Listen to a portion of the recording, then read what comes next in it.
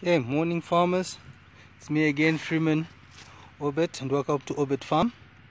Um, it's been almost like six months since I last made a video, and people, and thanks to all the people who subscribed on YouTube and asked me to do more videos.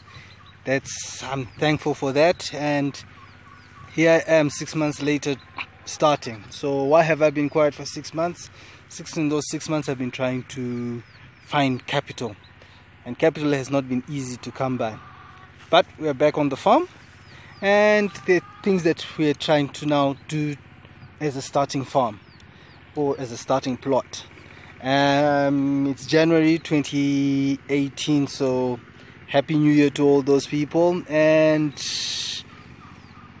wish you a prosperous 2018 to all those people who want to start farming please I hope this will be helpful and educative.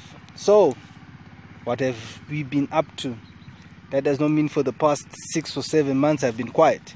Six, seven months means that I've been doing other things.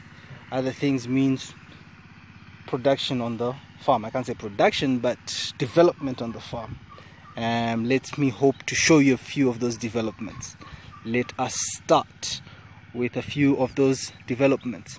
For starters, like any other thing that you need to do is try to find ways of making already revenue in this place. So the first thing I did is I built a shop that you can see right there. I think mm, there that shop.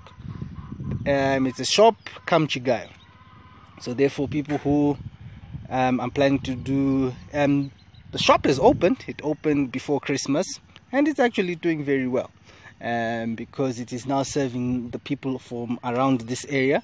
And I hope that it will keep on